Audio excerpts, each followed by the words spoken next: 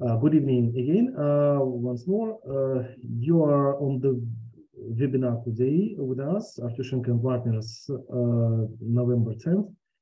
Uh, we will uh, have some discussions in English in respect of the FIDIC and the PC construction in Kazakhstan. it is not a pure webinar as a standard, let's say. We have made it as a Q&A session for international contractors and the questions was uh, received uh, in advance uh, during the registration. Uh, this record will be available later on uh, via uh, YouTube channel and via our educational panel, educational platform, I'm sorry, where we making the seminars and courses in respect of the FIDIC and EPC contracts application in Kazakhstan in different uh, contexts. Uh, Goran, Karen, can you please put on the cameras? I'm going to present our speakers today. Myself, uh, my name is Andrey Artyushenko. I'm a managing partner of the Artyushenko and Partners boutique law firm located in Kazakhstan, in Almaty. I'm a construction uh, and arbitrator construction lawyer and uh, arbitrator with the 22 years of experience in Kazakhstan and post-Soviet Union countries with uh, construction contracts and construction arbitration. I'm the member of the team developing subcontracts for FIDIC. Um, who's next? Uh, Goran. Goran is here with us. Uh, Goran is a project director at the Ludwig Pfeiffer uh, company. He's experienced engineer with uh, infrastructure construction contracts since 1998. More than 10 years of experience with FIDIC contracts, uh, yellow, red, pink book, books, financed by ADB, EBRD uh, in, um, in markets of Kyrgyzstan, Kazakhstan, Mongolia, Georgia, Turkey, Montenegro, Tajikistan. And Karen Arustamyan is our Artyushenko and Partners boutique law firm expert uh, he's from Armenia. He's contract manager, uh, tendering specialist, practicing lawyer in construction and management under three contracts with experiences from 1995, experienced uh, in Armenia, Kazakhstan, Georgia, Russia, and other countries. Uh, we will try to cover all questions today, um, uh, considering that uh, they are related to Kazakhstani projects and Kazakhstani practice. Uh, all speakers today uh, do have experience working in Kazakhstan. And um, we will, uh, once again, colleagues, if you have any comments or questions, please put them in the chat. If it is relevant, we will we will name them. Uh, and if there are new questions, we will uh, try to answer in the end, uh, if there will be available time, because we have only 90 minutes for this webinar. Uh, okay, uh, should this, uh, give me, give me just a second, I'm, I'm sorry. This, yes. Uh, first question, first question, it's my question, yeah. Uh, I should answer. Uh, can feel, uh, uh, I, uh, actually, I just combined several questions in one because there are a lot of, uh, there was a lot of similar questions. That is why it is accumulated in this one. Can FIDIC be used in the local projects in Kazakhstan? How can you realistically apply FIDIC conditions when you are operating in the environment of the KZ Kazakhstani civil code legislation and so on? The um, uh, uh, such questions. Yes, of course, it is possible, and we have such practice uh, in Kazakhstan uh, using FIDIC contracts. How? Uh, you will need to adopt the contract to the local legislation. It is strictly written in the uh, guide uh, in FIDIC guidance, um, you need to adopt it to the project, to the situation, to the construction, and to the local legislation. The volume of adaptation is very much depends on the project, uh, on the project uh, different uh, kind of questions. For example, uh, financing part, who will finance, finance it? Uh, what kind of procurement is should be applied? If it is state procurement, Samruk Kazyna, it's different approach. The most of the projects in Kazakhstan with the FIDIC are financed by EBRD, ADB, and other uh, international banks. Um, there are a huge amount of uh, projects built under the, uh, using the FIDIC, profile. I hope I answered the question.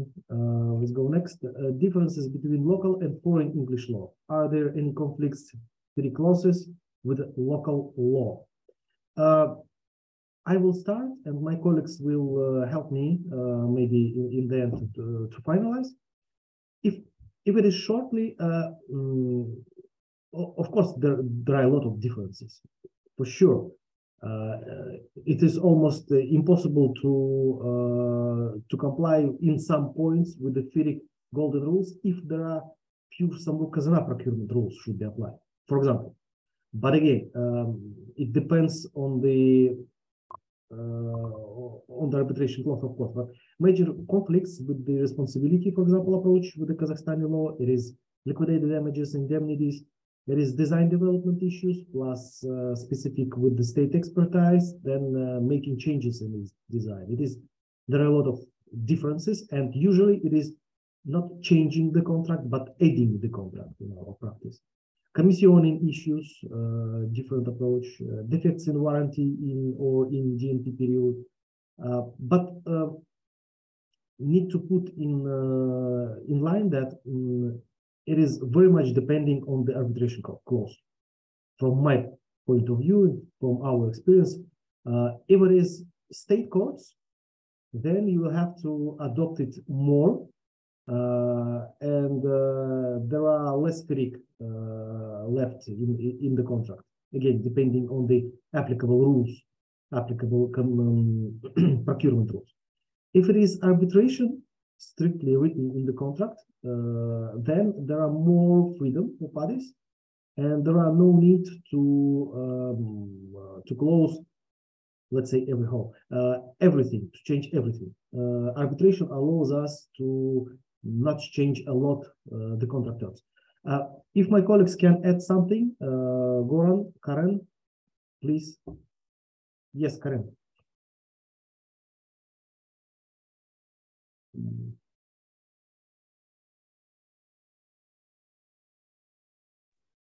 Do you hear me? Uh, once again. Because uh, yes, now, now. Do you hear me? Yes, we can hear you. Mm -hmm. So, uh, asking the question about conflicting FIDIC laws with local laws. So, I as uh, uh, as work, I, I, work in mm, uh, different countries, almost in five or six countries, and I would say that the most uh, important uh, issue asking about conflicting FIDIC clauses with local law is those which are conflicting the FIDIC golden principles. One of the uh, and the mainly about dispute avoidance board and arbitration. So uh, for answering this question, whether local laws conflicting with FIDIC, the first two should be whether the local laws conflicting with extrajudicial uh, dispute resolution, as it is the DAAB, and uh, accept, uh, acceptance and recognition of arbitral awards taken abroad. So these are the main all other issues regarding the commissioning or handover of the works or payment method, other things, these are just small details which are avoidable. So FIDIC would not work in your country, country unless you may provide the parties with uh, DAB or unless you may, uh, uh your country uh, accepts or not mm, the arbitration uh, awards taken abroad. Yes, but uh, again, we are talking about Kazakhstan. Uh, for Kazakhstan, yeah, yeah, we, we are talking about not Kazakhstan. a lot of problems. It is possible to implement. Yeah, the, I understand. So I just uh, saying the uh, difference. Uh, the main thing is asking about these two assets, whether they are conflicting or not. Other things, uh, yes, in any country there are some conflicts, they, but they are avoidable. They could be somehow be provided under the uh, uh, particular conditions of contract, changing something or, or adopting something. But these two things, uh, adopting, uh, uh, I'm sorry, uh, accepting arbitral awards and providing extrajudicial conf uh, conflict resolution is the main things. Thank you. Okay, uh, if you don't mind, we'll go forward to the third question. Um, what are the major conflict conflicting conditions of FIDIC Yellow Book, second edition, and the Republic of Kazakhstan laws that may lead to dispute between the employer and contractor?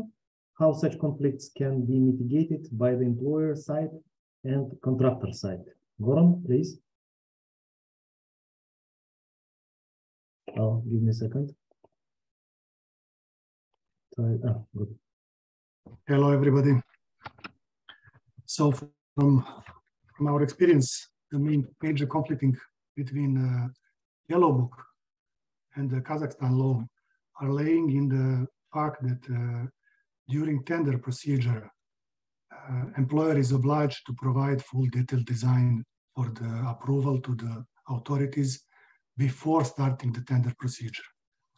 And this is uh, contradictory to the Yellow FIDIC book uh, basics because uh, Yellow FIDIC book requires or pro uh, provides that contractor is one who is doing design. And there comes to the first uh, contradiction and conflict bit because the employer is usually making design before publishing tender having the uh, pub, the state expertise in hands, and then requesting that works will be done in accordance with the Yellow FIDIC book.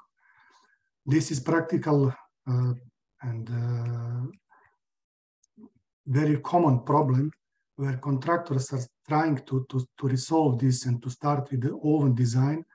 And uh, because of the shortage of the time and uh, usually such uh, contracts are uh, published and uh, announced in short time, short period of time. And uh, due to the specific Kazakh regulation about the producing of design and about the pa passing through state expertise, this is not possible to, to change and to replace the design what is already in hands. And uh, outcome of this is that uh, practically uh, contractor is blind when he starts to, de to deliver his proposal, price proposal for this for the tender. So he is bidding with the, with the most uh, the, the minimum price for the tender. At same time, the employer is expecting to get what he designed, and there is a there is there is a conflict.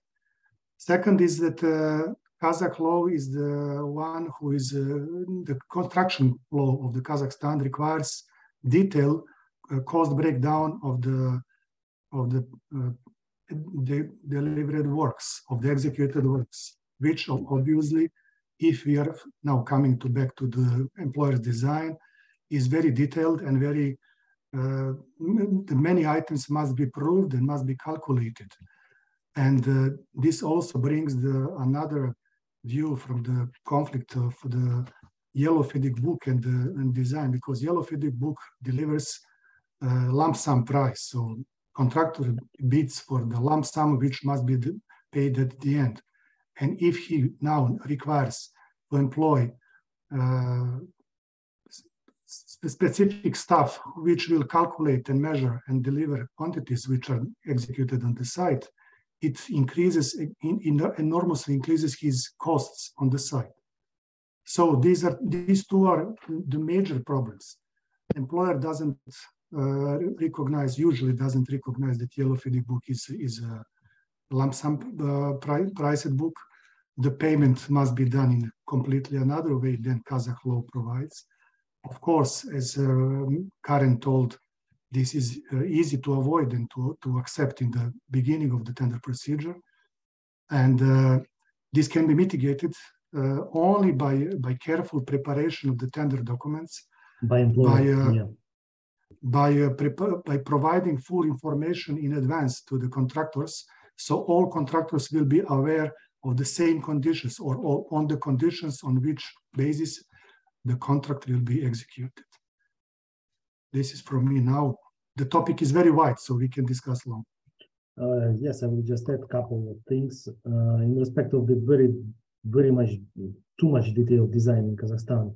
requirements are still enforced from Soviet Union, it is headache. Uh, but in respect of the uh, of the position of the Goran, uh, which you said in the beginning that Uh, during the yellow book tender uh, there are some problems with the documentation and so on, uh, especially with the design when the contractor should design. But again, actually, there are several ways in Kazakhstani law how to avoid it. I mean, for the employer.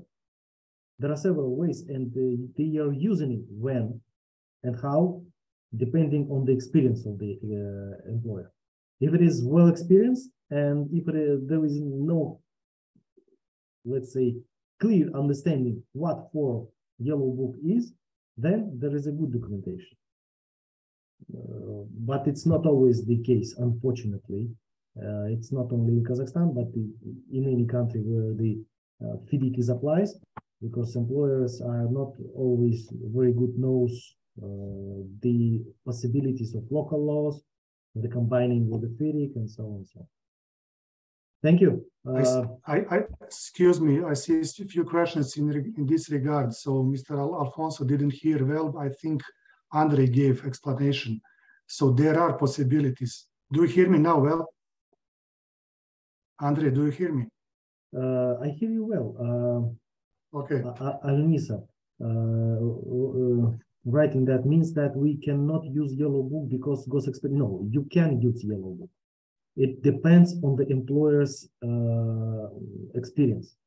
Uh, and not only experience but the but the structure of the project. If it is financed by ebrd then it allows you to avoid a lot of local rules. Then it is possible to do it as it should be should be done in the FIDIC contracts. But again, depending on the experience of the uh, employee, if he know how to do it, how to structure the, the relations with the BRD, how to um, prepare the documentation, because the uh, the main headache, uh, not in only Kazakhstan but uh, everywhere, is not with the translation or with the uh, local um, uh, local frames in legislation, but with the employer requirements, with the employer uh, professionalism, and the documentation which prepare preparing during the tender. Usually, it is a lack of time to do it. Uh, Andre, I would. I would like to add about this question from Alcina. So, in my opinion, the careful selection of the FIDIC book or FIDIC type contract or FIDIC contract type in proper way uh, is the main task for the employer and for the consultant and engineer who are advising the employer. So when, whenever the yellow FIDIC book is used, it is considered that it is designed by contractor. Whenever a design is done by the employer, then it is considered as a red FIDIC book or some another type of the book, which is considerably useful, green, green type of the, of the book or emerald, what is the 2017 edition.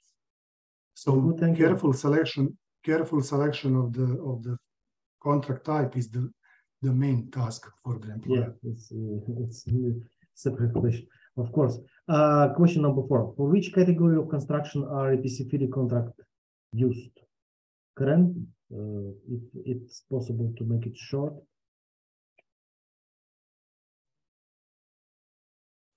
Okay, so Goran ju uh, just a couple of seconds ago said that the FIDIC, the type of FIDIC book should be uh, chosen very carefully.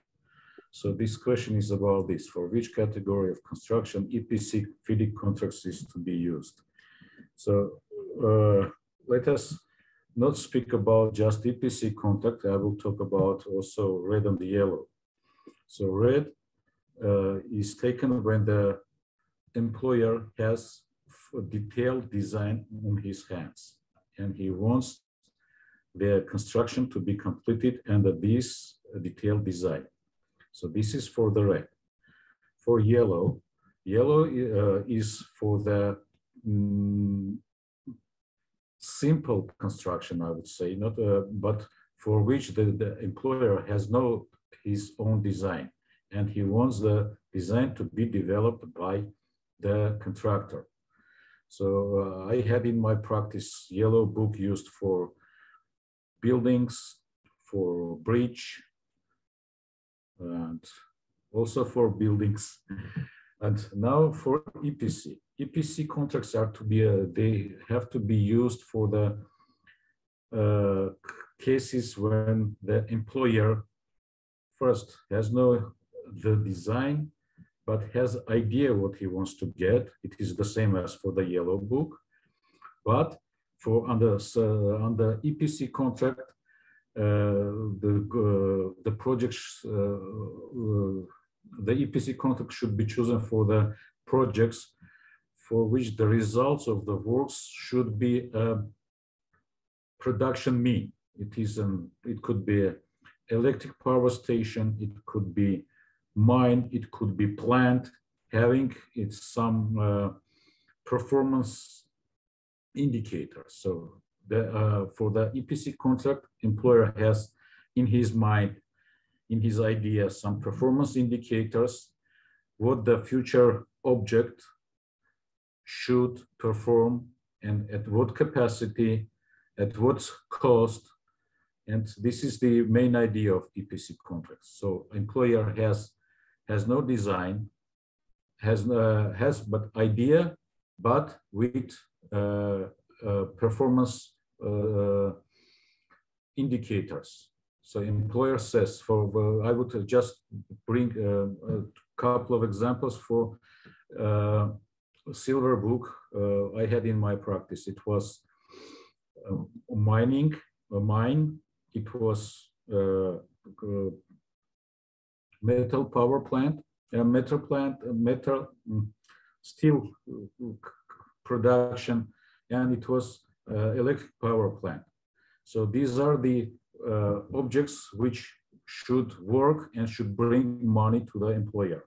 And these are not just simple building. This is not just a simple bridge. It is a production mean.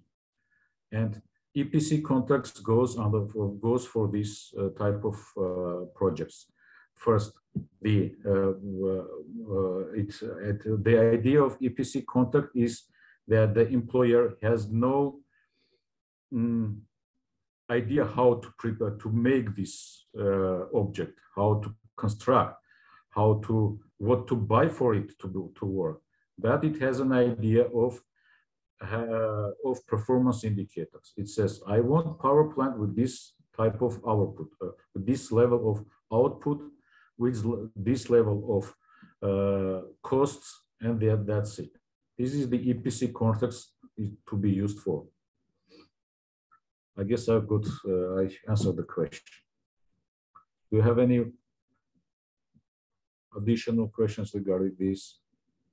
Thank you. Uh, I do not have any questions. Goran, can you add something?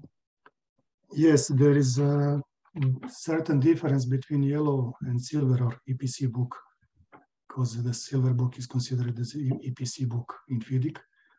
Uh, the main uh, characteristic of the EPC contract is that there is no, the administration of the contract is given to the employer. So there is no engineer under the EPC books. So contractor and the employer are running the contract together. However, this doesn't mean that uh, employer is putting his nose all the time in the in the con construction process. It just means that uh, he is uh, following deliveries. He is approving deliveries. And uh, in EPC contract, uh, employer is pretty much sure about the price and about the scheduling of the other works. So the risk allocation is mostly allocated to the contractor side. In yellow FIDIC book, the risk allocation is balanced between parties. So for certain uh, works, uh, for certain risks, employer takes uh, his own responsibility. And EPC contracts are not applicable for, for example, for the underground works or for the works where, where a contractor doesn't have sufficient time to analyze the conditions for the work in advance before starting or, be, before, or during the bidding process. Yeah, sure. Thank you. Uh, the next question. Uh, uh, please make an introduction of the contract interpretation principles according to the Kazakhstan laws and how to interpret and understand the meaning of good engineering practices under the Kazakh FIDIC contract practice cases. Truly to say, there is not such, such conception in Kazakhstan legislation. Uh, there, there, there is no local interpretation even for for this thing, let's say.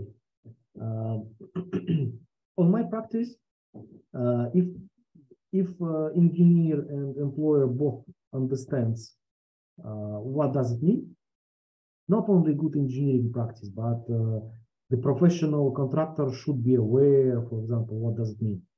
And so if employer and the engineer understands it in the beginning, uh, then uh, I believe there will be no problem. Uh, because it, it will be there will be a need of the contractor to uh, to follow uh, what will say engineer let's say or employer.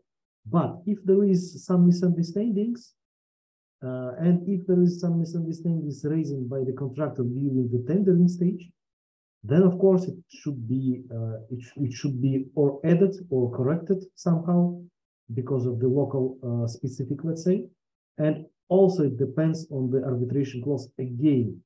If it is kazakhstani courts local kazakhstani state courts it is one situation. If it is arbitration it's different situation at all. Uh, sometimes uh, in, in, in our practice we change the good engineering practice to the country legislation just in accordance with the country legislation sometimes. But uh, it's not always applicable. For some uh, technological projects it's not always uh, possible to do it like this. In some uh, in some cases we add these phrases good engineering practice with the with the words based on the employer's requirements for example. Uh, again if it is uh, if it is applicable but in, in our case it, was applicable. Uh, maybe have something to add colleagues? Okay good uh, we have some short advertising pause colleagues we are going to make an english a seminar in english language in december this year uh, it will be about FIDIC and EPC construction contracts in Kazakhstan. It is seven-hour seminar, offline seminar in Almaty. Main issues that will be covered by me because I will be the speaker. Uh, it is the it, it, it is the understanding of the difference between the international and Kazakhstani practice. We will show how to manage this difference, how to work with it, uh, what changes we usually made in FIDIC construction contracts and why, we will show you and tell you uh, more about it. Uh, best practice in securing the contractors' obligations in Kazakhstan, because when contractors participate in tendering, uh, especially foreign contractors, they know less about this, and uh, we can show some more instruments that could, could be used and uh, proposed to the employer, for example. And bank guarantees cases in local courts, we will share, share our experience and uh, local practice about it because, for, for example, for Kazakhstani projects, uh, bank guarantees, uh, performance guarantee, uh, advance payment guarantee, we think that it's uh, not a good idea to use it in Kazakhstan because it's very easy to block it. And we will show on some practical cases how it was done. If you have uh, any questions, uh, if you're interested in it, uh, please send me a short note. This is my phone number and my email address. Also, we are making some corporate seminars. If you are planning to your education, your education or uh, professional um, uh, some educational stuff for the 2023 please bear in mind these types of uh, seminars we usually make uh, make a photo if you wish and contact me with this contact. Uh, so we will proceed. The second, uh, the, the following question. is it true that the design and the construction cannot be the same company, EPC? Goran, can you comment, please? Do you hear me? Yes. Yes, we can hear you. Uh, so I will tell from my experience, from our experience, uh, it is not true. So the design can be delivered by the same company. Uh, however, the stamp and signature on the design uh, are probably are requested to be signed by licensed company. So design in the meaning that this design should be uh, Uh, should pass uh, national uh, state expertise expertise. the company who is delivering design must be out, authentic or must be licensed in the Kazakh Republic. This license is issued by the national authorities and in parallel, uh, some of uh, surrounding countries are also recognized with their licenses. It means Kyrgyz license are valid, uh, Russian license are valid or were valid before. As I, as I know, so far Russia doesn't have license anymore or something. I think uh, Armenian uh, or, or uh, Belarus licenses are also valid if there are. In Uzbekistan, there are no licenses for the design. Go on, sorry. You mean valid in Kazakhstan? Yes. I mean, they, they are recognized by, by authorities. They are recognized, but the procedure is the same as getting new license. Yes. some, some, some, some of yes, some of CS, CSE countries licenses are recognized in Kazakhstan. But it's not the recognition in pure way as a legally, let's say. It is yes. a possibility to use the experience you have in those countries and to get a new license. You will have to get a new license anyway in Kazakhstan, but it will be easy if you have some license uh, in other countries. It's not recognition. It's not a. The, there is a, there is a, um, uh, uh, interstate agreement between the post-Soviet Union countries about the recognition of the construction license. There is, and it is enforced. Not about not about construction, about design license the same the construction and design the same uh, it's it's it's not yes karen i, I put put you in yeah there is a interest uh, interstate treaty among eurasian unit uh, economic unit countries about recognition of their licenses so kazakhstani licenses are valid in armenia and uh, Armenians are uh, Armenian and Russian and other Eurasian countries Eurasian, licenses are valid in Kazakhstan. I can comment it because I uh, need to look at it because okay, uh, Goran, can you? I, I stopped you. Sorry. Mm -hmm. Proceed. So the, the the design can be done by the contractor if it is foreign contractor with his staff and with his uh, uh, professionals uh, however, it must be stamped and signed by professionals who are licensed or who are recognized by Kazakh legislation to pass the procedure. This is related to the to all uh, projects or all contracts where uh, state expertise must be followed. And mainly this is all, almost everywhere. I didn't met any contract where it was not required. Mm -hmm. Thank you and it takes time. This is this is the the, the, the procedure. What is what is time time time demanding, not expertise but design and expertise together. Thank you. Uh, yes, and in Kazakhstan there are only one. Uh, yes, Karen, I put you on. In Kazakhstan there are only one direct restriction about this. Uh, who can do who can't do something uh, related with the same project. For example, the design team uh, who made the design having local licenses cannot provide engineering services for the parties. It is if it is financed by the state uh, funding. It is uh, strictly said in the, in one of the uh, of the rules uh, approved by the government there is only one restriction I, I know. There are no any other restrictions and DPC is possible. And in Kazakhstan, there is a difference. You can, not a difference, but a different approach than in another countries that you can't go to the construction site and make any construction.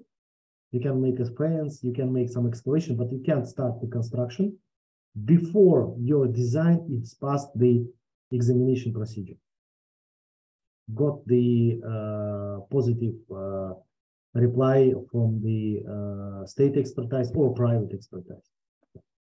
I would like to, to because there is Mr. Alfonso is giving comments in the chat. Mm -hmm. So uh, this is mainly a question to you, Andrey. Are there any proposals for the updating of the law of Kazakhstan about design and construction? in the meaning that same company can be end designer and uh, construction company.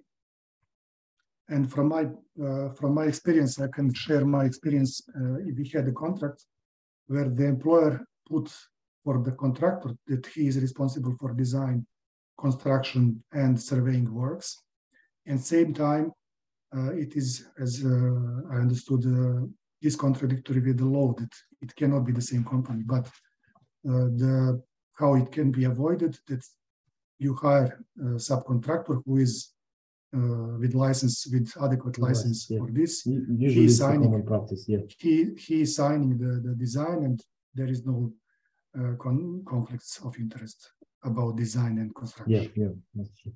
Karen? Yes, Yeah, this answering about uh, design and construction to be implemented by the same company. So of course, it is, it could be done. Of course, even FIDIC has several contracts uh, designed for this purpose when the construction and uh, design is uh, make is made by one company.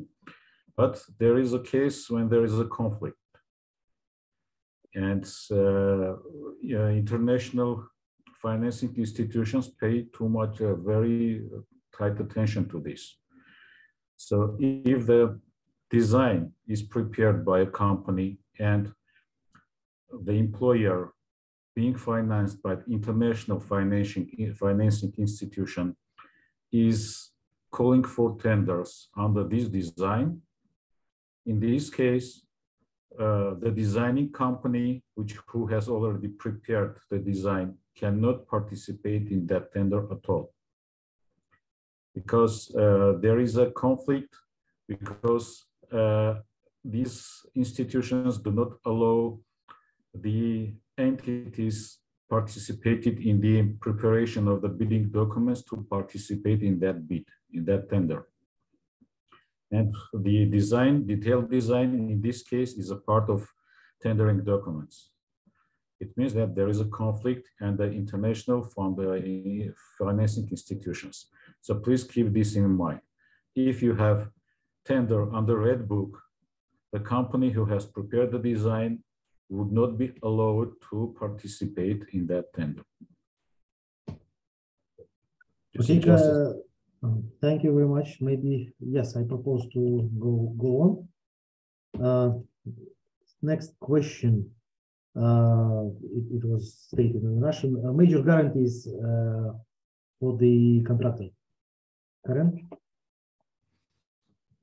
Yeah, so there are several warranties, guarantees, I would say, but they, which are to be provided and the FIDIC books to the employer by the contractor. So first is the performance guarantee, which is ensuring that the employer, uh, I'm sorry, contractor will fulfill he, its obligations under the contract and will not leave the contract saying that, okay, I am leaving. And the, uh, and he will perform all his obligations under the, under the contract. The performance guarantee also covers defect uh, notification period. It covers all the, uh, all the obligations to be implement, to be uh, to taken by the um, uh, contractor before the employer. The other guarantee is advance payment guarantee. If the, there is advance payment under the contract, mainly FIDIC recommends to uh, issue these advance payments and the advance payment guarantee. It is, it would be, it could be as, a- as a bank guarantee or in other forms, depending on the employer's uh, understanding of uh, and depending on the the wishes of the employer, let's say. Uh-huh. The other guarantee is retention money, which is taken under uh, by the employer out of the every payment or to the contractor. Mainly it is five percent, and uh, this five percent accumulates, and this retention money accumulate at the end of the contract, and when the uh, when the commissioning certificate is issued, then this retention money are uh, paid back to the contractor. So these are these three main uh, warrant uh, guarantees which are due from the contractor to the employer. Uh,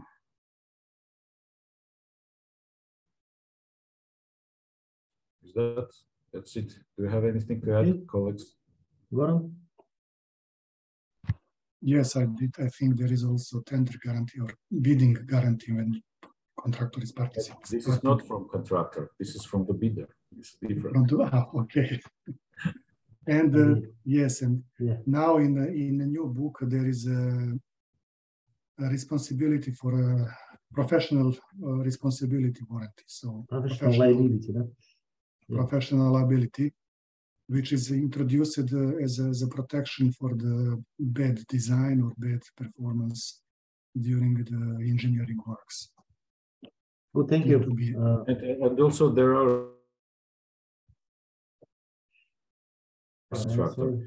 So they are mainly covering the contractor's risks, but uh, we had cases when the employer asks for some, uh, for uh, the contractor to uh, insure the employer's risks also.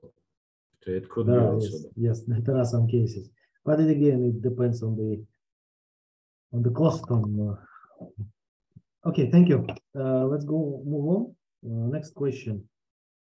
What are the regular difficulties encountered from contractors or employers? Goran? Interesting topic, uh, interesting question. Thank you for the question. Huge, huge question. Huge. I can talk about this full full night. I will I will not take so much time from you. Uh, I will have underline two main uh, challenges for the for the foreign contractor. First is licenses licenses for the work in Kazakhstan. Uh, this is something what foreign contractors do not recognize as, as an issue or difficulty, but uh, when time comes, uh, it is a big problem because uh, they cannot practically hand over any of the work without necessary licenses. Even they, they don't do not have right to start with works if they are not covered with licensing in the Republic of Kazakhstan. This is related to the national law for construction where only licensed companies have right to, to construct. And the levels of the, of the responsibilities are very different. If you are participating in state important, the, the project of this importance for the state or for the republic, the license level must be the highest, the first level. If it is the simple work, some painting of the wall in some uh, small street, can be fourth license or third license. This is the leveling. Uh, many of the employers do not recognize this as a problem because this is common common position from the from the construction law in Kazakhstan that everybody understands this, but foreign companies do not understand, especially companies who are coming from the parts of the world where such licenses are not existing. And uh, these bring difficulties. Uh, it can be resolved or uh, passed with, uh, with the subcontracting works. Uh, also, the company can uh, start licensing procedure. This licensing procedure, in my understanding, takes not short time. It is practically from three to nine months in practice. So usual time is six months, let's say. Also, there is a common practice in Kazakhstan that, that companies, foreign companies are buying license by buy, buying small companies which already have licenses. And uh, in this way, they are uh, became uh, becoming getting these licenses as ownership of the company. And uh, price of these companies, I don't know what to say, but uh, it is also cost which contractor company who is coming from the countries abroad must consider as, a- as a cost which is not clear at the beginning of the, of the bidding process. Uh, Second is uh, construction law procedures. Uh, Construction law procedures, uh, it means that uh, act of hidden works, measuring sheets, all different acts which are required by the local inspectors. Uh, and the local inspectors are something which is coming out from the Kazakhstan law. Local inspectors must be dedicated from the local market. So it is completely different from the engineer position which we have as a FIDIC contract. So local inspectors, state inspectors or, or, or local uh, uh, guys who are technical, doing technical inspection on the site are something which is not common for the for the other countries, but here in Kazakhstan or CSE countries, it is very common.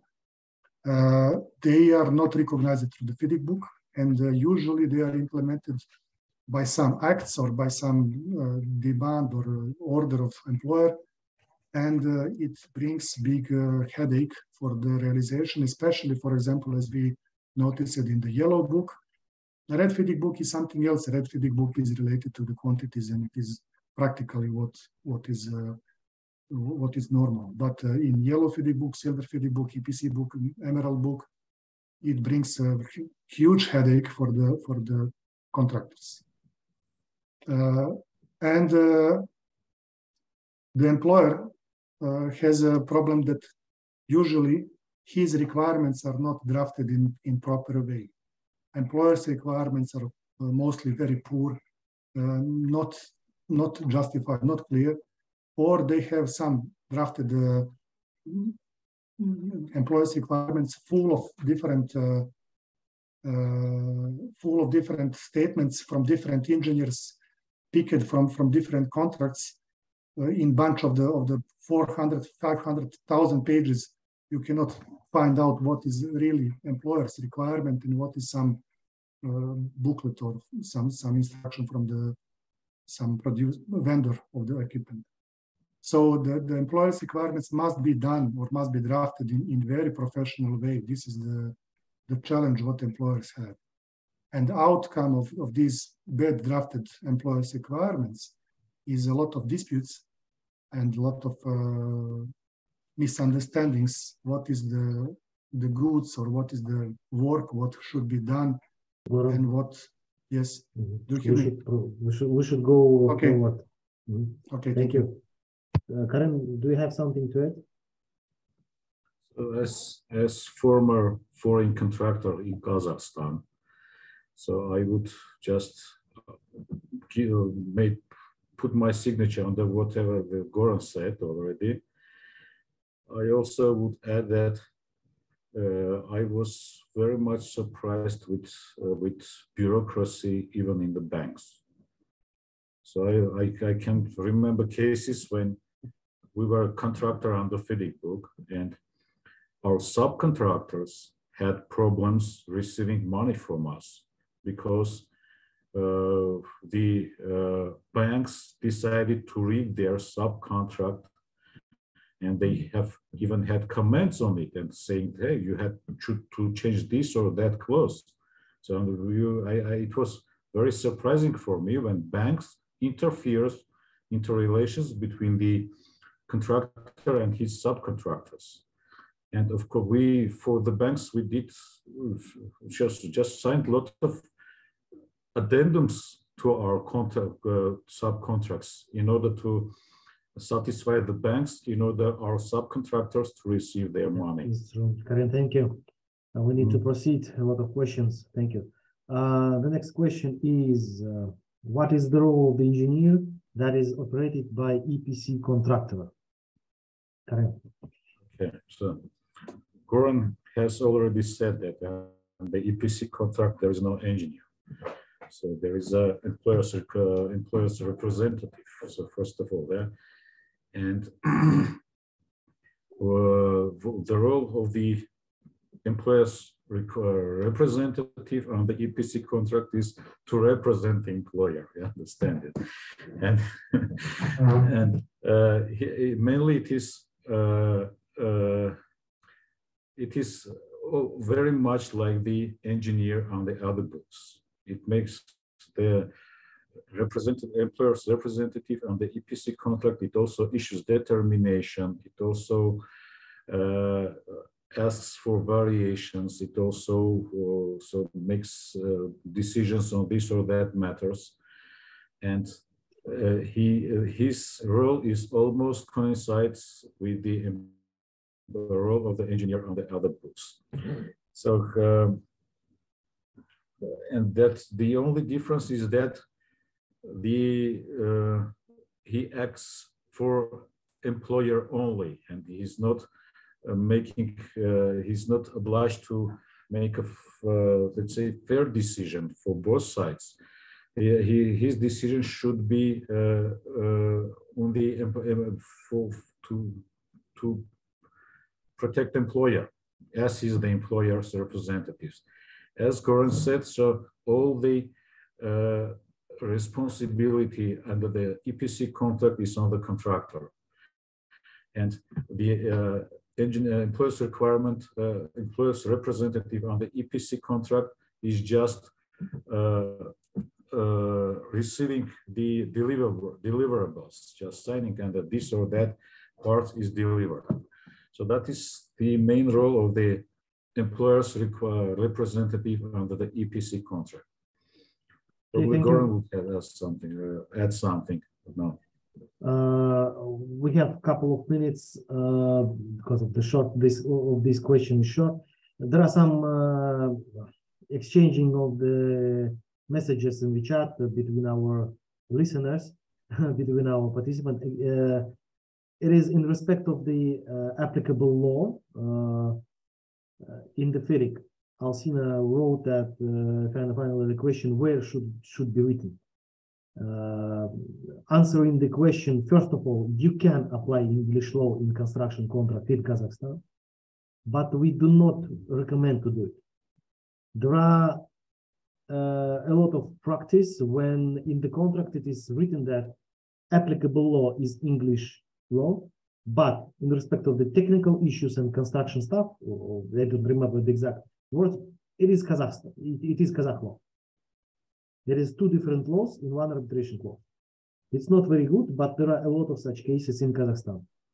It's uh, one part of the answer. The second part of the answer, uh, where to write, uh, where to put the applicable laws. It depends on the book you're using. If it is 2017 books, then particular conditions have part A, part B. You need to look through uh, where to put it. If it is all books, then it's just the particular conditions. And where to put uh, 1.4, I don't remember.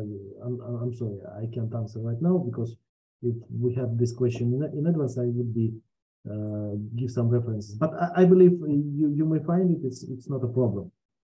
Uh, it's just about the chat. Uh, the, the 1.4. 1.4. It's in Red Book, yeah? It's in Red Book. For Red Book uh, for which year? 99? 17. 17. Uh, but there is a particular condition, part A, part B, no? So you, you mean what? So in what I, part I, should be? I mean, uh, yes, because in 2017 there are different approach for the particular condition. Okay, uh, I think uh, it, it is enough for the listeners that we have said about it. We need to go ahead because we answered only on the half of questions, but there are, there, there are more.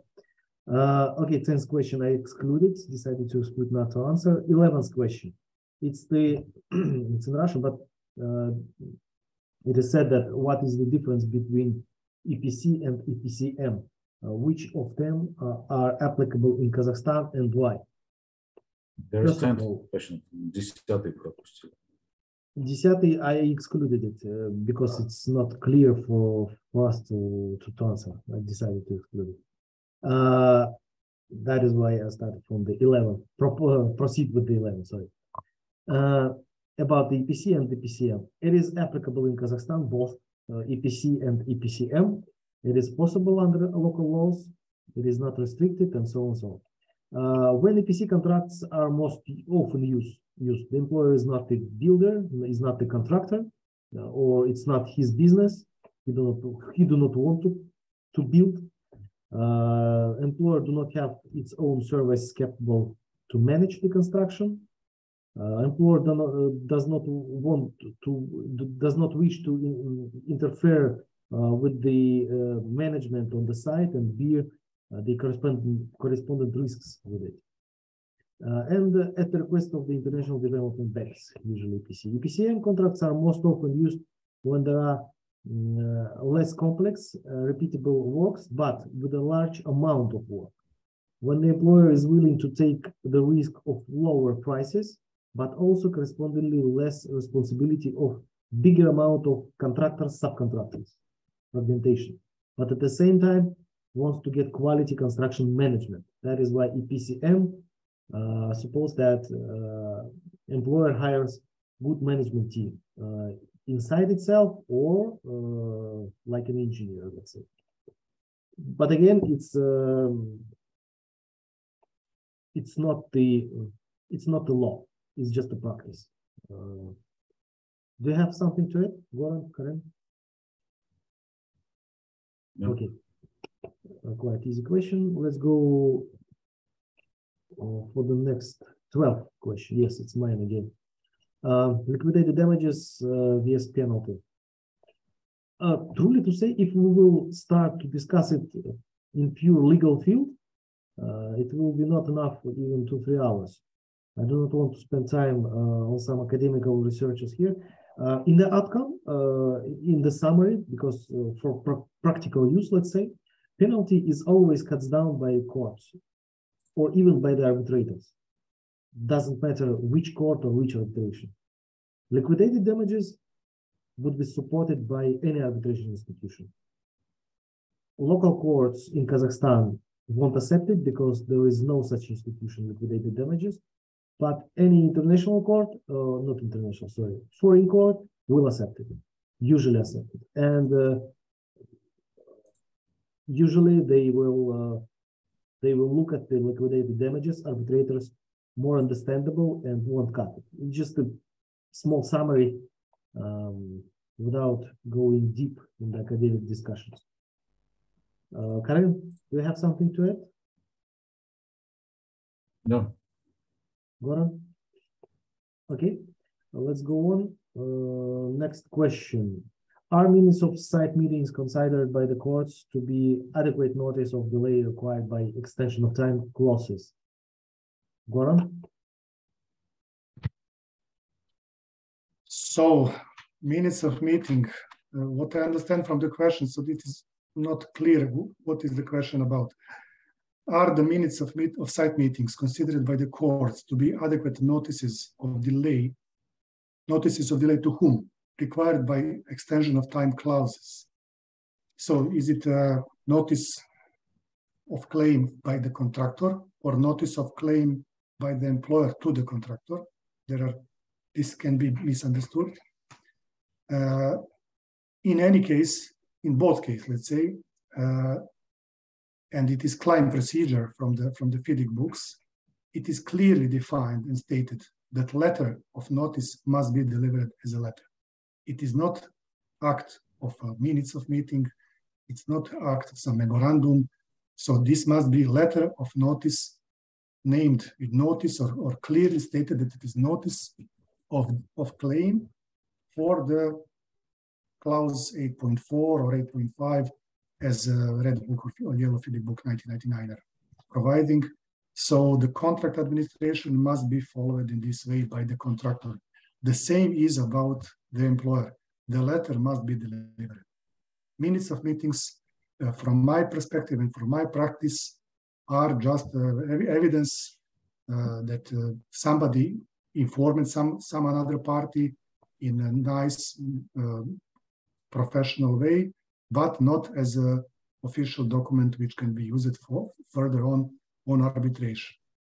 Uh, I don't know about Kazakh law, because Kazakhstan uh, uh, laws or, or, courts maybe they have another uh, experience. I, I will. I, I, will wait later. Understanding, wait. but for for from international practice, it is usually not recognized as a notice. It is easily, uh, it can be uh, not easily, uh, how to say, in, in lawyer practice, drawn out. So it is not not used for for not useful for the court procedure. Uh, as, as a lawyer, I will add, then Karen, uh, there are, it depends. Lawyers was always telling that it depends. First of all, what is written in these uh, minutes of, of, of meeting? Second, were there any notices not accepted by the employer? Because there could be some notices, but they don't accept it. It's another approach. Maybe there are several minutes of meetings where it is stated in different ways, in different uh, approaches.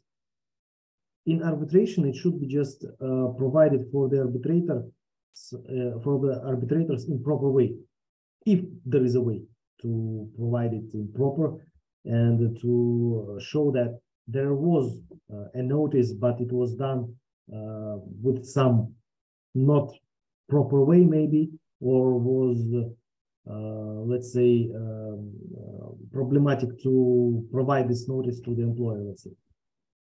Karen? So the third opinion. Third. So for, uh, I, I agree with Goran for the notice uh, of claim. So there is clearly stated in the contract that the notice of claim should be, in the notice of claim should be stated that this is notice of claim under this clause of the contract.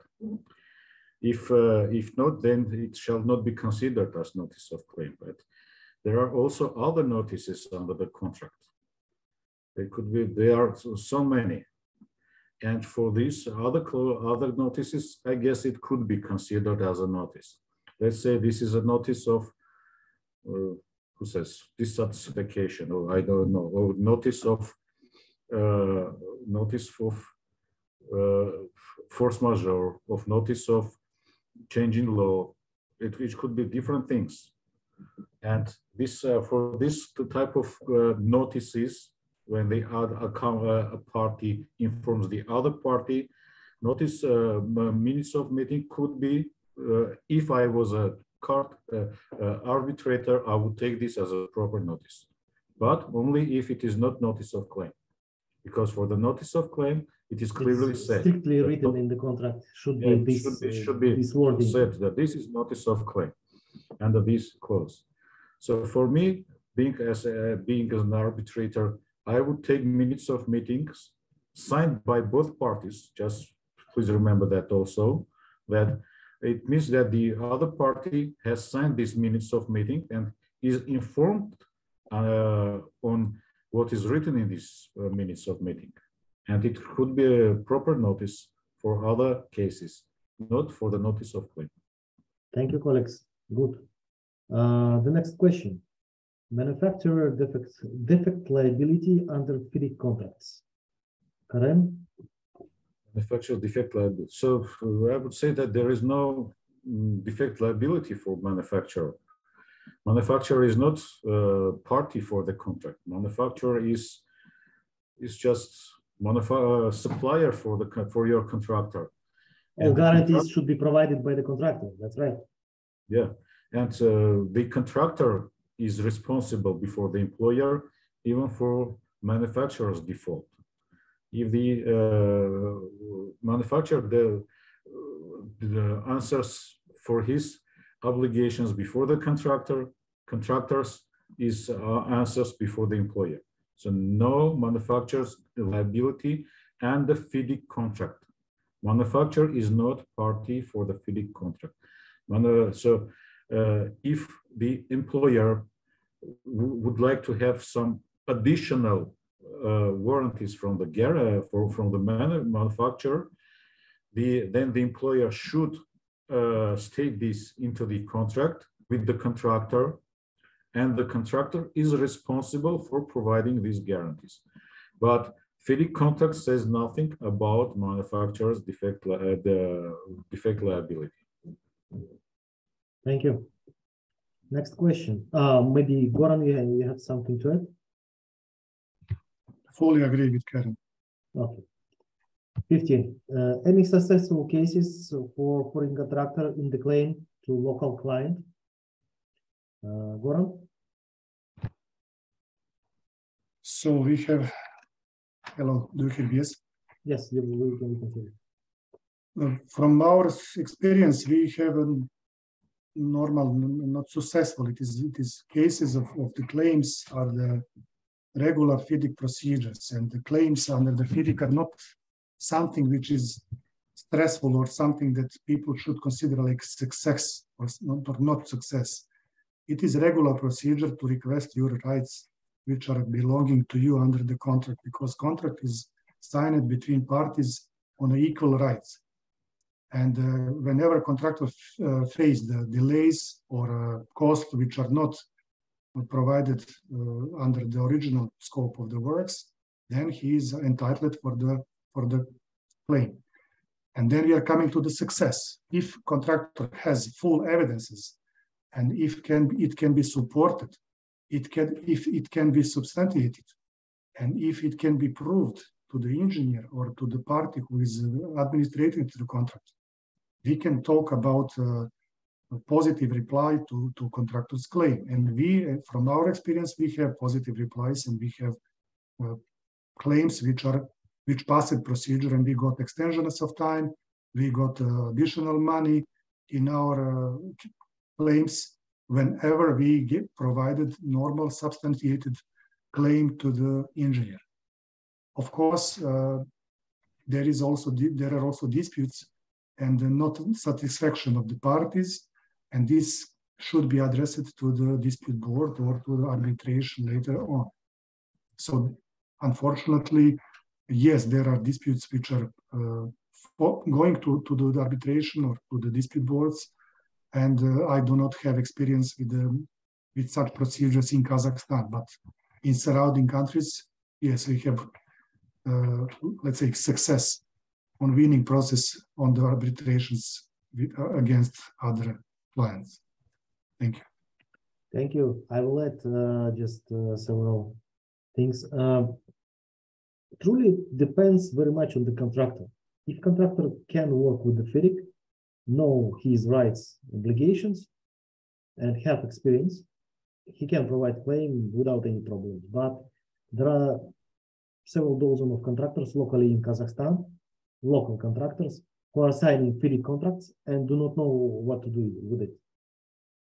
Then there is a problem. Then there is a huge misunderstanding with the word claim, because when you translate it to the Russian language, it is pretensia, and uh, pretensia means that it is like a, a lawsuit.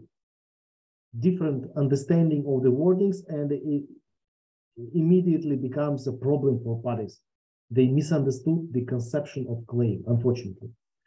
And yes, the decision for it, uh, uh, if it is done in proper way, uh, proper time, uh, proper uh, background documentation, so on so, is the DEB. That's right. Uh, DEB in Kazakhstan is is workable. It, it's possible. It is allowable. there is no any restrictions under under Kazakhstan law for DEB, and they usually three, four times per year on different conferences here in Kazakhstan, promoting this DEB because it's a great uh, vehicle which uh, helps to resolve a lot of problems. Uh, but the practice uh, are not so good, let's say, unfortunately.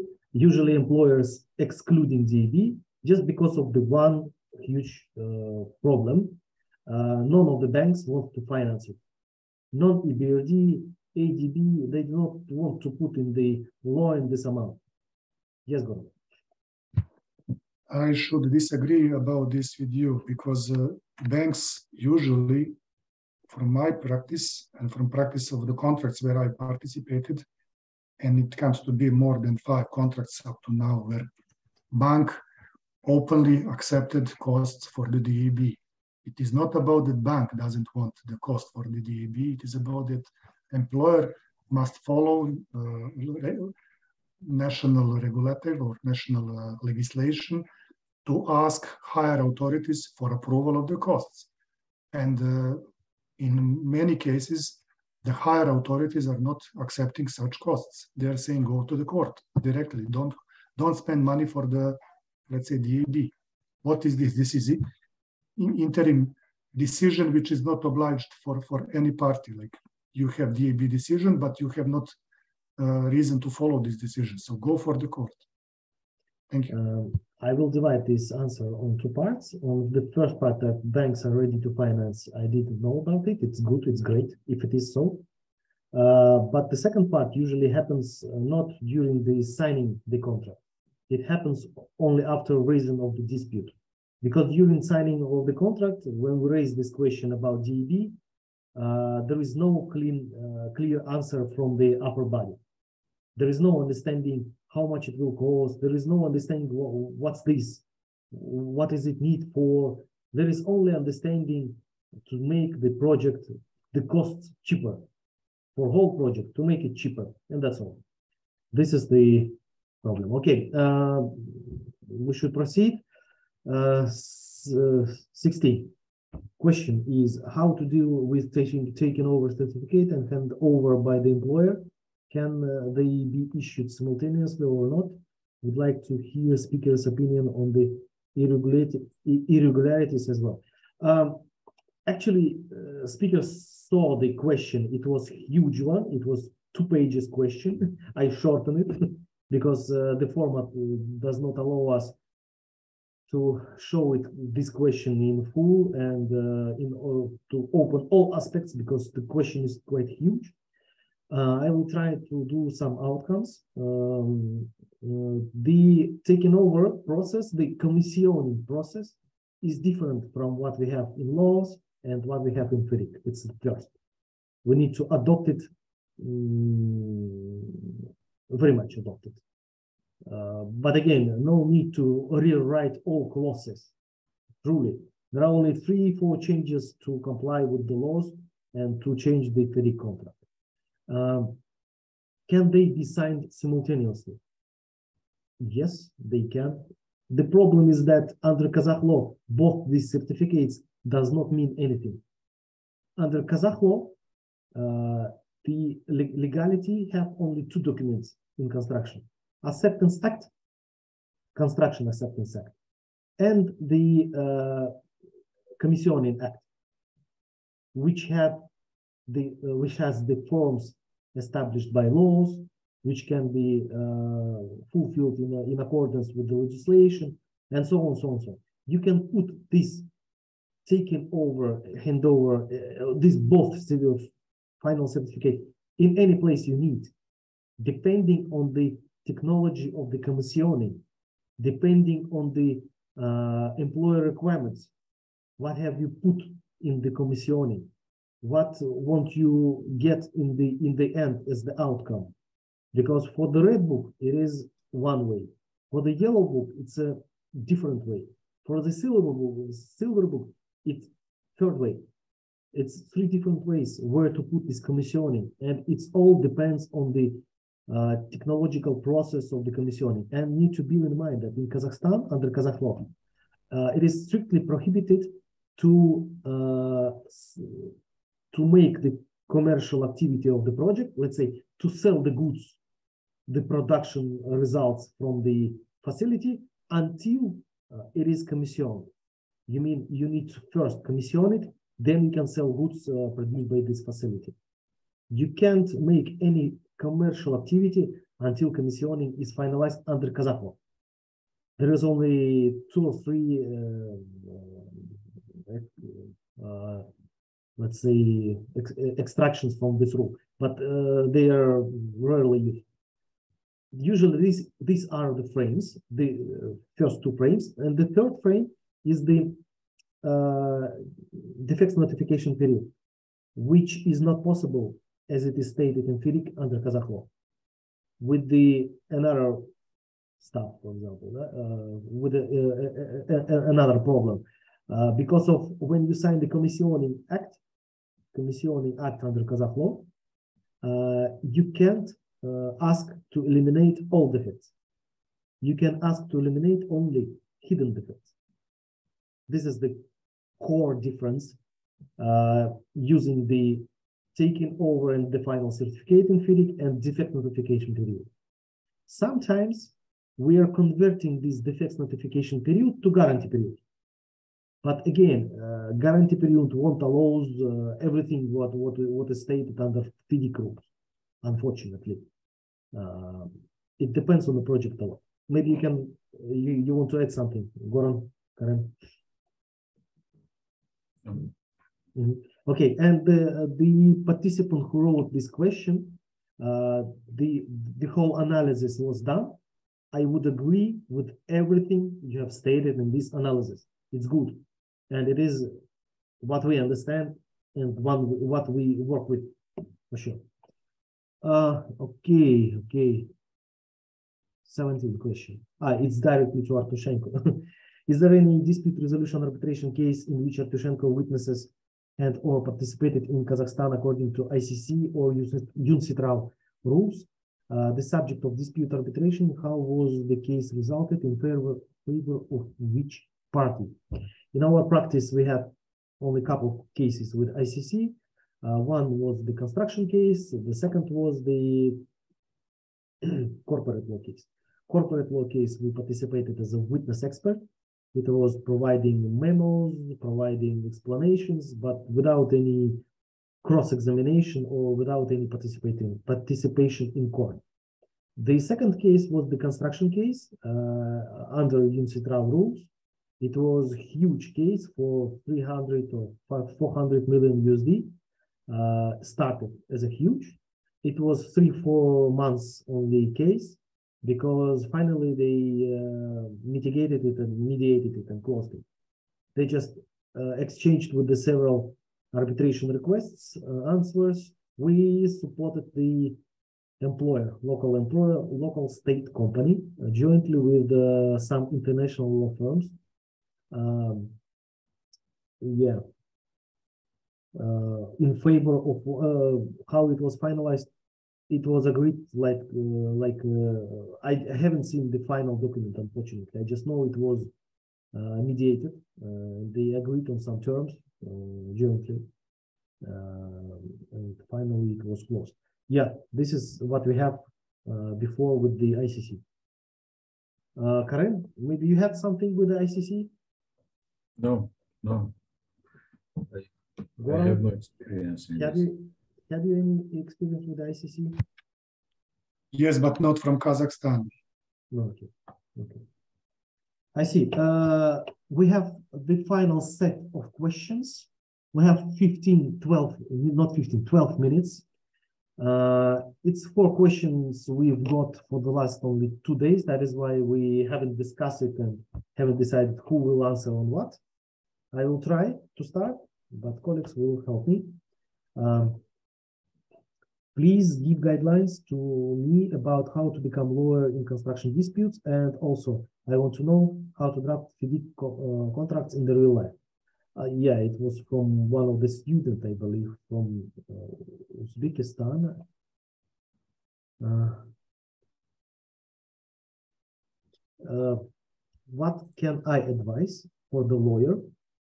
Uh, just to find a place to work in the construction field until you have any practice, it is useless to read, to make some.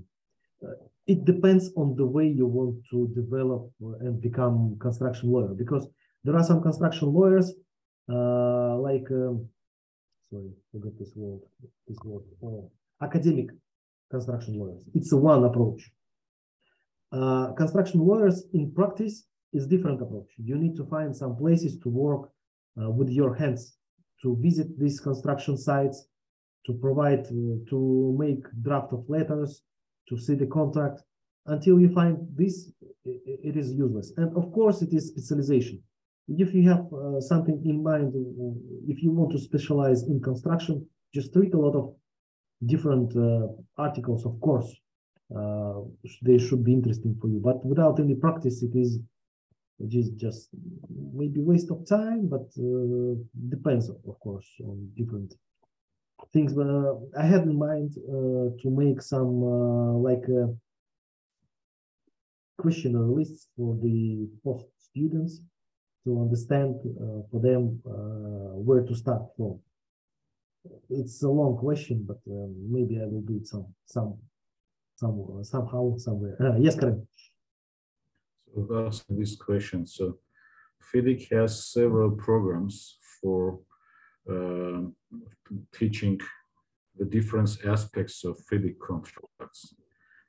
But for uh, being uh, being able to participate on those courses, you should have some practice.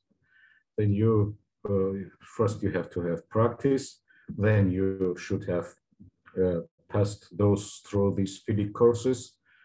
Then you also should have practice. Then you should have exam. So it's it is just continuing and non-ending. Uh, never-ending story, never-ending story, and start from the English language. First, yeah. to know without English language, it's impossible. So first, so first is English. Second is practice. Then the other parts will just uh, you will find yeah. on your way.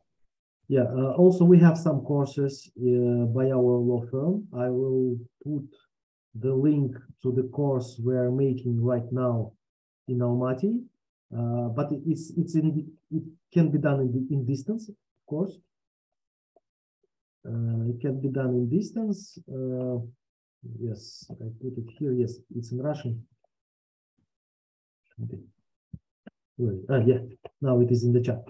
Uh, you can go through these courses as well. Uh, what next? Um, what are the risks for client in turnkey contract if we use FIDIC Silverbook for client? Uh, I, I assume it's for the employer.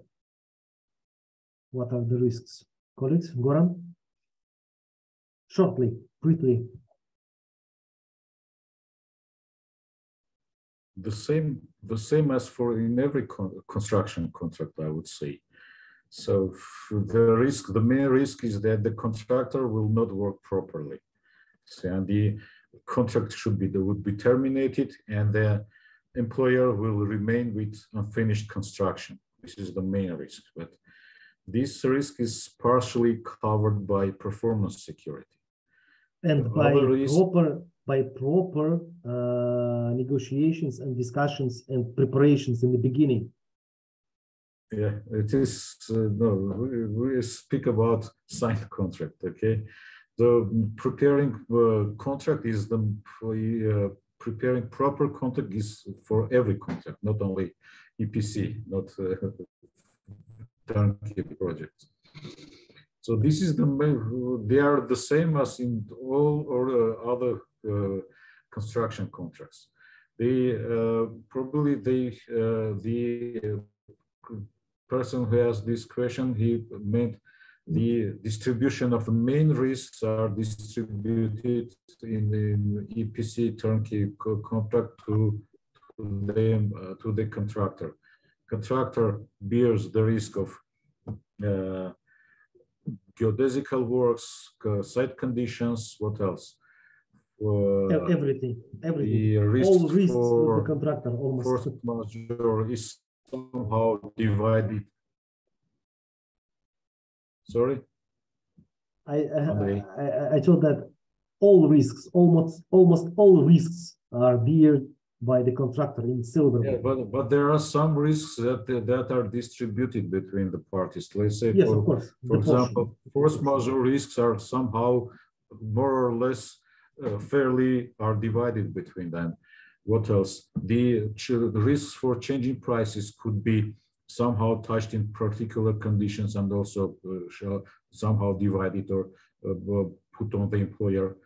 So it's uh, the but the main construction risks for are are on the uh, on the contractor, the EPC on the turnkey projects. Okay, uh, Goran, do you have something to add?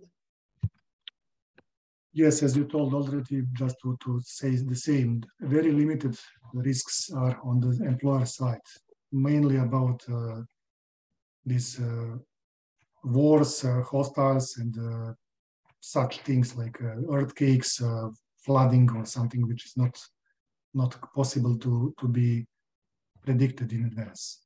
Of course, in Silverbook, uh, the underground conditions are on the side of the contractor. So this is the big difference between yellow FIDIC book and silver FIDIC book.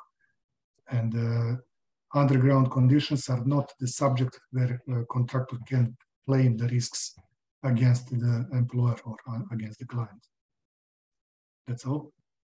Thank you. Uh, the next question. How can we obtain the official FIDIC in Russian language it shall be produced by the Moscow office. Uh, I will answer. Uh, first of all, there is no official translation to Russian language of all new books. There are only one translation of the FIDIC Red Book 1999. You may find it uh, fidic.org, but be aware that this translation is not legally, is not by lawyers. It was done by translators. You will need to finalize trans this translation anyway, because it's impossible to use it the way you will download it. It's the first. The second part, yes, you can find uh, the Russian language. Uh, uh you may find several new books on the Russian language.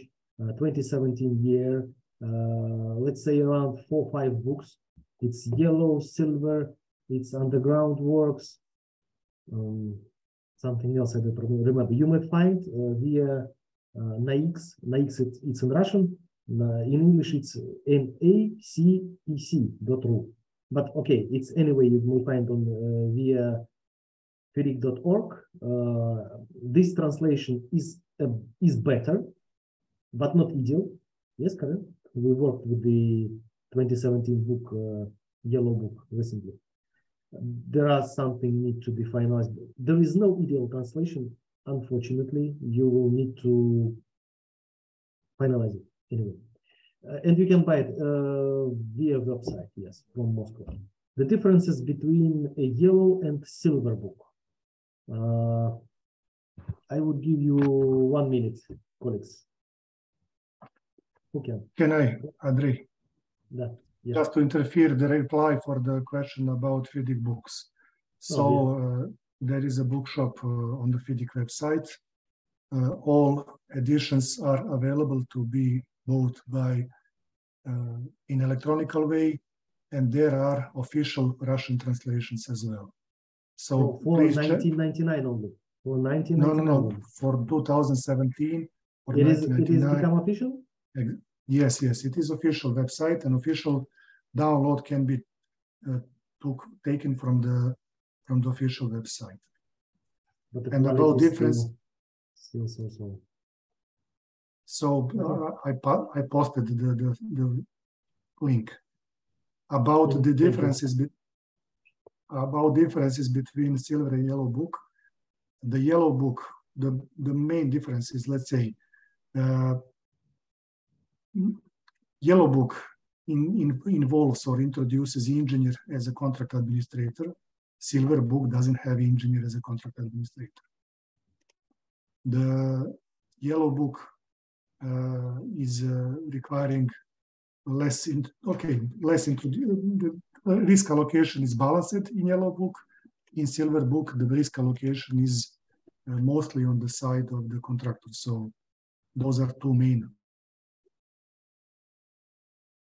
thank you uh, karen do you want to say uh, yeah, I would say that the main difference is, is I, from the employer's point of view that uh, the yellow book, uh, uh, both yellow book and silver book, they are based on employer's requirements, not detailed design. But uh, yellow book is for those type of objects which are simple and which are not going to be used for producing something. Silver book is mainly for producing uh, object which would produce which which is uh, production means, and the uh, in silver book the construction uh, is part is very small. There is mainly procurement of equipment, installing the, the equipment, and commissioning this equipment. The construction goes, it is uh, like auxiliary to this uh, to these works. So let's imagine we are trying to uh, construct a power plant. Construction, construction of building around these turbines is very small part of the work. But the main part is having those turbines, those turbines having some several capacity and those production having some uh, defined uh, by the cost, the cost not excluding, uh, exceeding such a, some amount. So these are the main from the differences from the point of view of the employer. from the point of view of the object which is going to be constructed.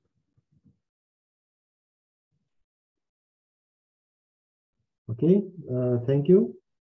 I think this is it with, with the questions. Once more, uh, a short reminder for this seminar, offline seminar in Almaty. Mm. Who is interested in it can make a photos. Also, we will appreciate if you will write your feedback on this webinar via our chat. Uh, we will try to organize such English law uh, with the English, uh, using English uh, language webinars next year, maybe more, more often. Um, hope uh, there will be an interest, but we'll, we'll appreciate your feedback. what is good, what was bad, please give us your feedback and uh, we will try to uh, do it better and maybe more often. Goran, Karen, thank you very much for your participation, for your involvement and answers. Uh, it is always a pleasure to see you uh, and to speak, to discuss. Thank you very much. And uh, I'm uh, staying for three, four minutes to wait for some feedback and see you next time. Thank you. Bye bye. Thank you, everybody. Thank you. Bye.